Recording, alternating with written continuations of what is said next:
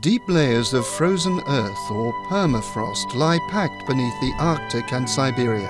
Permafrost represents 25% of the Northern Hemisphere's landmass. The full effects of its thawing could have a devastating effect on climate. The temperature of this land, which has been frozen for tens of thousands of years, has increased faster than the average global rate. By 2100, 90% of permafrost could have disappeared. As it melts, permafrost releases greenhouse gases.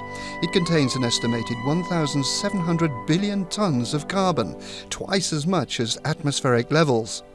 The warmer it becomes, the more carbon and methane seep out into the air. And as land temperatures increase, vegetation is able to spread, in turn speeding up the melting process. Thawing permafrost can have serious consequences for the stability of the foundations of buildings, of runways, pipelines, and industry, all built on land most thought would remain permanently frozen.